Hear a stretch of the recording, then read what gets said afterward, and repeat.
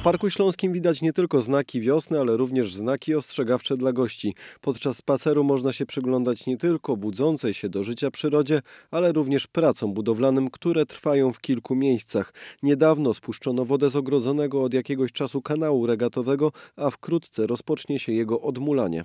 Rozbiórki będą wieloma etapami realizowane. Krótkich odcinkach, tak żeby tylko przygotować front robót na ułożenie kolejnych konstrukcji już tych oporowych.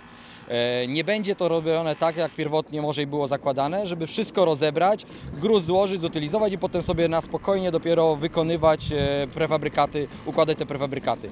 Tutaj no niestety trzeba będzie robić to odcinkami, bo nie możemy doprowadzić do tego, żeby grunt, który tutaj się znajduje w podłożu, został uwodniony. Dlatego kanał będzie się zmieniał krok po kroku. Już widać pierwsze prace na mostkach prowadzących na wyspę, które zostaną zachowane. Ta inwestycja potrwa do jesieni, a drugi jej etap, czyli remont nabrzeży, rozpocznie się w przyszłym roku. Za rok goście Parku Śląskiego mają już też przejechać się Elką nad Śląskim Zoo. Prace widać po obu stronach nowego odcinka kolejki. Aktualnie prowadzimy pracę równocześnie na stacji Wesołe Miasteczko oraz na planetarium.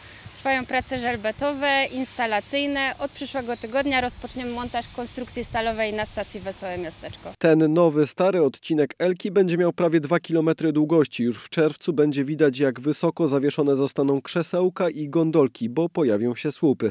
Poza tym powoli rozpoczyna się też budowa kąpieliska Fala, tuż obok kanału regatowego.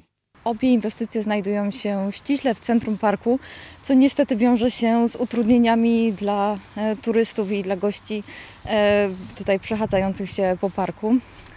E, Jeżeli chodzi o sam dojazd pojazdów technicznych na teren budowy, to ruch został tak, w taki sposób przewidziany, że odbywa się od e, ulicy Złotej m, do placu budowy, czyli całą e, aleją e, Ziętka. Na razie wielkie inwestycje będą powodować spore utrudnienia. Goście parku najszybciej ocenią je w przyszłym roku. Do tego czasu podczas spaceru będzie można się poczuć jak na placu budowy.